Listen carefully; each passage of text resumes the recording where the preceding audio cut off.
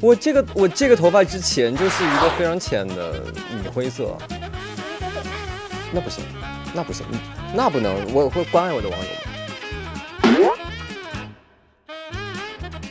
丁禹兮收到了霍格洛兹魔法学校的录取通知书。丁禹兮过了他十一岁生日。丁禹兮在路边找到了妙蛙种子，并把它放到精灵球里面。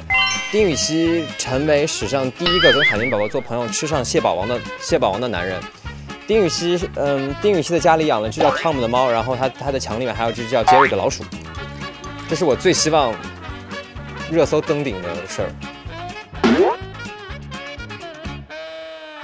会在现场害怕，会不会嗯不严谨和不规范，会让人有不好和不正确的引导。我是热心肠型，就哪个都不太像，但哪个呢又都有点儿，都有一点，应该是说，嗯，在他们我在演完他们之后，他们在我身上留下了一部分，嗯，他们心目中好的东西，这对于我来说是更像是他们给我的一份礼物，所以我非常感谢他们和非常怀念他们，包括我会把这份礼物好好的，嗯，在我身上存在下去。